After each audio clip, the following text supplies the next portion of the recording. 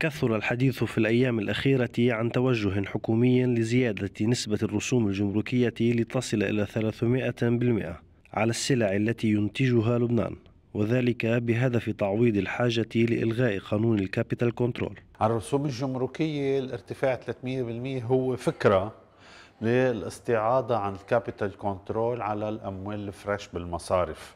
إجت فكرة أنه بنطبق capital control على المصارف تشمل الأموال ال fresh. بضل واحد قادر يسحب بالداخل ولكن تمنع التحويلات إلى الخارج.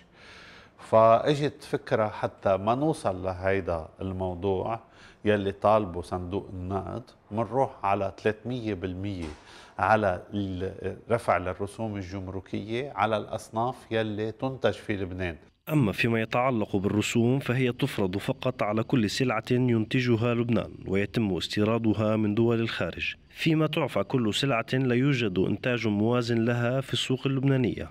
يعني إذا بلبنان نصنع أحذية فورا وتلقائيا. أي حذاء يأتي من الخارج يخضع لرسم جمرك 300% يعني إذا كان يخضع لرسم 20 دولار الحذاء أو 30 دولار يصبح الرسم الجمركي فورا حكما 60 دولار.